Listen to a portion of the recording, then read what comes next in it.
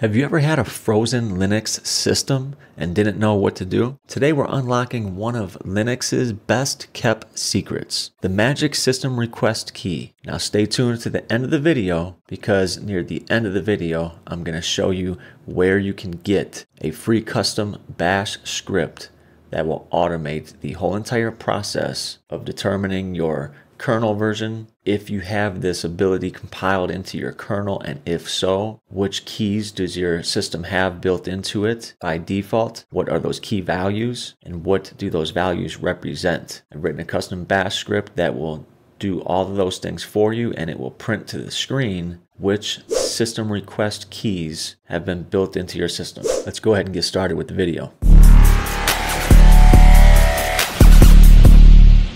Welcome to Fresh Forensics, your go to destination for everything Linux. Hey everyone, welcome back to the channel. Okay, so I'm over here at github.com forward slash Douglas Fresh Habian. This is the starting point for all of my various GitHub repositories. If you have never seen any of my previous videos, hey, I'm Doug. I'm a Linux sysadmin and I am deeply passionate about all things Linux. Over here on this page, you can learn more about me, you can verify my various certs. The one I am the most proud of is the LPIC 1 that certifies me as a Linux system and server administrator.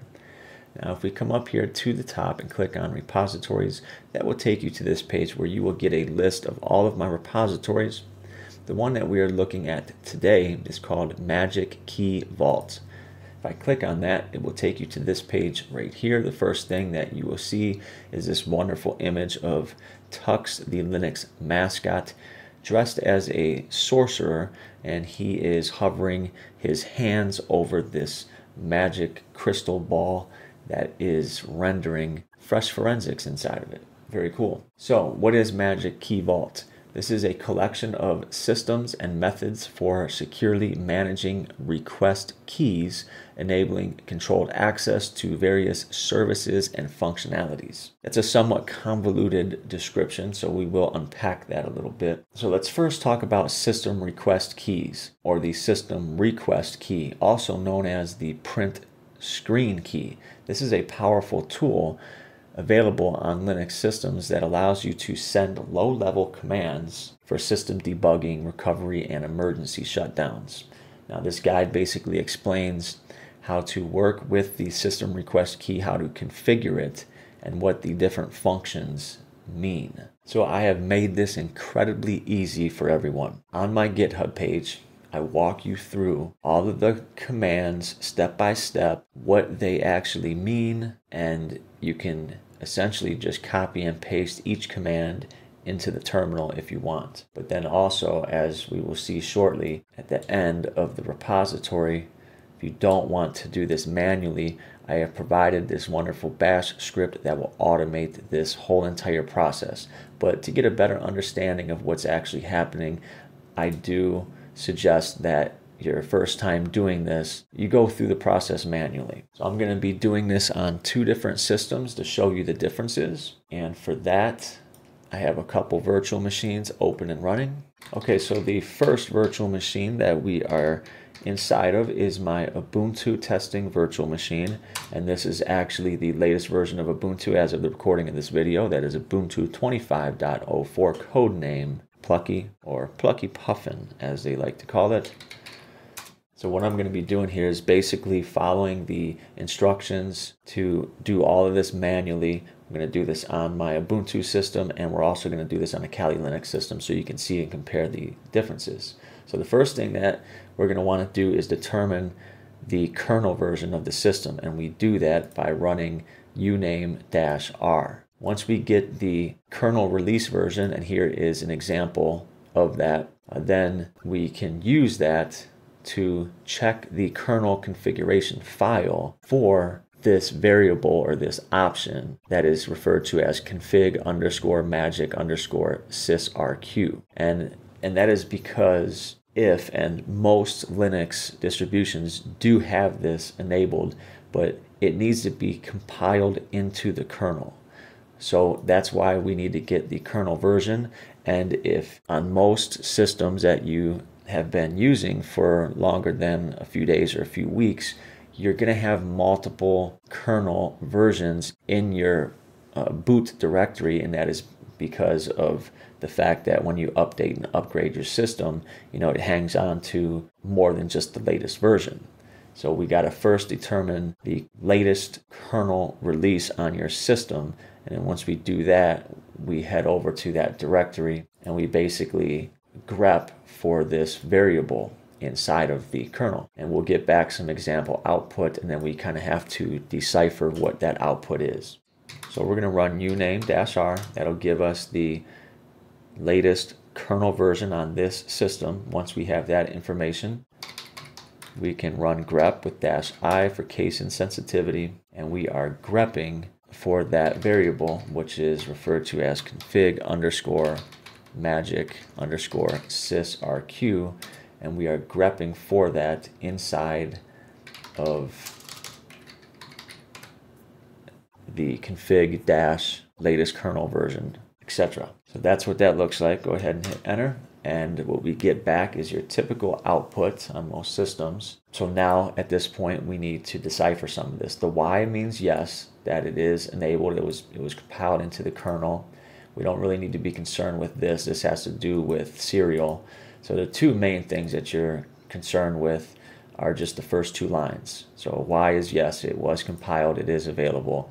And then we have a value. This value is in hexadecimal and we need to convert this from hexadecimal into decimal and then further break down that value and what it means.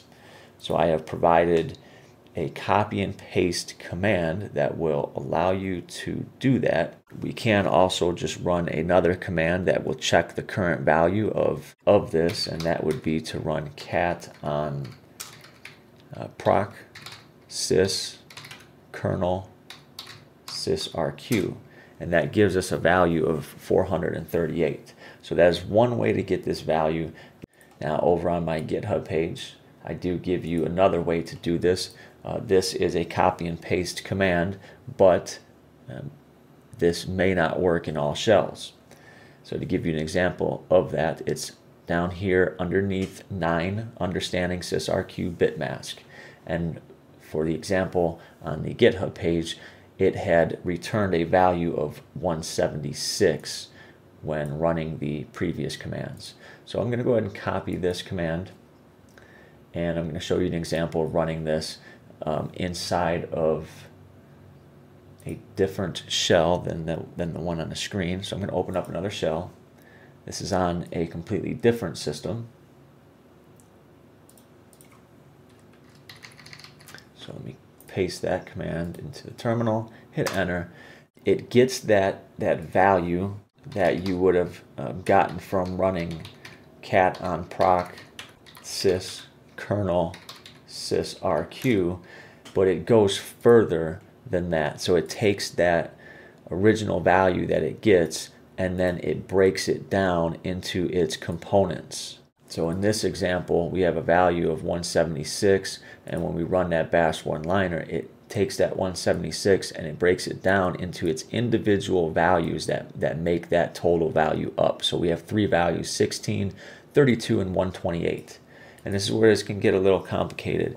And you basically have to take each one of those values and then you have to go reference these to a, to a chart. It'll tell you what each one of those individual values means. So for example, back on my GitHub page, underneath section 4, understanding the sysrq value, here are some of those values. So when I ran that command, you saw that we had 16, 32, and 128. So if we look at 16, that means that the system is capable of syncing all mounted file systems. 32 means that you can remount file systems as read-only, and 128 means that the system allows rebooting and running power off from the command line. So what I have done is I have made this process much, much easier for you. And that is because I have provided you with a bash script. You run the bash script and it will do all of that for you. So to get that bash script, you're going to want to do a git clone of my uh, Magic Key Vault repository. So you'll come up here to the green box open that, copy the HTTPS URL to the clipboard. And then back on the command line inside of our Ubuntu virtual machine, we're going to go ahead and do that git clone. When the git clone has completed, cd inside of the newly created magic key vault directory and if we do an ls that is what we have very very very basic the only thing that you're concerned with inside of this is going to be the magic key.sh bash script. We will go ahead and make that executable by running chmod plus x on magic key.sh. Now if we run ls, you see it shows up in green letting us know this is executable and ready to go. So let's go ahead and run this with a dot forward slash followed by the name of the script. Hit enter and you get a bunch of stuff immediately printed to the screen. Let's go up to the top and break this down. As always, you get some ASCII art. You know I love to include ASCII art in all of my scripts. First thing that it does is it checks the kernel version and then it prints that version to the screen. Then it checks for that special variable inside of the kernel config it finds it and it prints it to the screen just like we did manually. And then it's going to cat out that file in proc to get the value just like we did. And then it's going to break that value down, which is the best part of this script.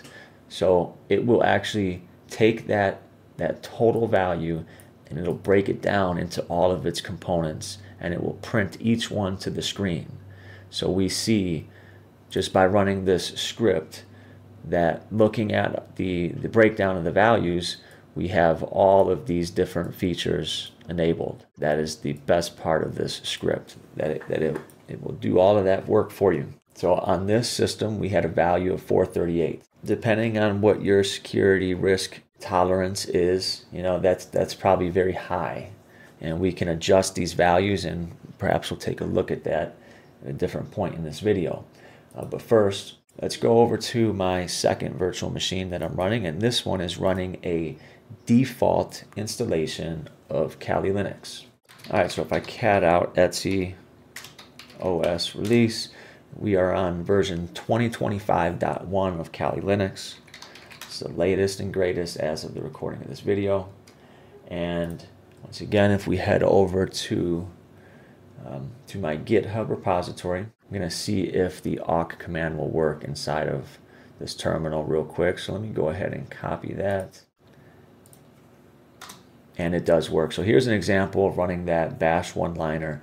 And this is very, very useful in and of itself. So it was able to get the total value and then it broke it down into each value that makes that up. And if we were to cat out uh, proc sys kernel and uh, the sysrq, that is the total value. So we're getting the same value we did on the Ubuntu machine, which is 438. All right, so I'm going to go ahead and do a git clone of my Magic Key Vault repository. I'm to cd inside of the newly created directory. We're going to make that script executable, and let's go ahead and run the script. And essentially we get pretty much the same output. But I'm doing this to show you uh, that this does work on multiple systems. I have tested this script on numerous Debian-based systems. Now, when I was testing and uh, fixing some of the issues with the script, one of the problems that I was running into was with the breakdown of the values. So it would catch most of them, but it might miss some of them. And that is what I need the help from you guys for. And if you run into any issues in using this script where you you get any any error here at the bottom, it will show up in red and it will be an error pertaining to a value that it was not able to uh, essentially decode for you. Let me know. Put in a Git pull, reach out to me on YouTube, however you choose to, but let, let me know so that I can uh, fix the script, make any adjustments necessary. Uh, so I, I, have tested this on Debian-based systems, and I've tested it on Kali Linux, on on um, on Raspberry Pi. Uh, but that's as far as it goes. So let me know if any errors um, arise in the script, and I'll fix them. Uh, so that's going to be it for running the script. Very simple.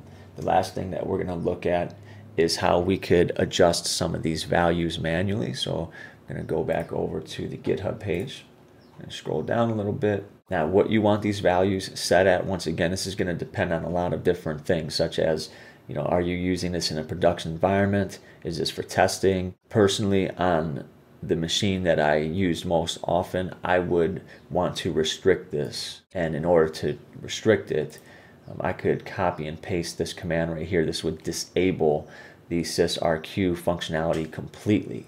So I might do that on my main system. Uh, but on a different system, perhaps I'll enable every one of them, you know, just so that I can test them out. So this depends on what you're trying to accomplish. So if we wanted to enable all of the functions, we can set the value to 1 or 255, which would mean full access. So here's an example of doing that. I'm going to copy and paste that command and hit enter. Now if I cat out that value, we see that we get 255. So let's go ahead and run that script again. And now when we run that script, we have more output here at the bottom. And this is essentially what it would look like if you had every single thing enabled. And if you're not quite understanding what that means, um, I can't actually use the key combos because that, that will disrupt what I'm doing with the recording of the video. But these are key combos that are enabled on your system that will allow you to do things such as, for example, when your system freezes. Freeze. If you have uh, some of these enabled, you'll be able to utilize a key combination and it will send a, a low level signal to the kernel to kill processes or to just reboot the system. You know, perhaps the most famous of these key combos that most people are going to be familiar with is actually referred to as the famous REISUB sequence. This is a well-known emergency recovery tool when the system becomes unresponsive. And over on my GitHub page, I have a breakdown of that. Okay, so we took a look at how you would enable all of the functions, uh, but that is not going to make it persistent. So when we shut the system down, you will lose that. If you want to make it persistent, then this is how you would do that. Come back over to the GitHub page. Once again, you can just copy and paste this underneath of number 10. Let's take a look at making changes to increase the posture of our security. To do that, you would echo zero into that file. I'm going to copy and paste that command, go back to the terminal, paste that in, and hit enter. So now if we cat out that value, we get zero. And if we run the script, we get nothing back for the breakdown of the values. And once again, that is not going to be persistent. So if we want to make that persistent for it to survive across reboots, we can copy straight from the GitHub page. Paste that into the terminal. And then to immediately apply that change, we're going to run the sys uh, ctl command with a dash p. Now I want you to quickly take a look at the rest of my GitHub page on your own time. Underneath key features, you can expand this section that will go into great detail about the features of the script that we demoed in this video. And if you scroll down to the bottom of the page, you have this wonderful bright yellow link for Buy Me a Coffee. If you're interested in supporting my work, this is one of the many ways that you can do so up here on the right hand side of this repository, as well as all of my repositories, you will see links uh, to Patreon, Buy Me a Coffee, as well as Ko-Fi. If you found this video helpful, don't forget to like, and comment, and subscribe else, for more just subscribe Linux, to the channel and hit that like button. and hacking you are content. doing a lot. And as always, keep learning And stay fresh. I'll see you in the next video.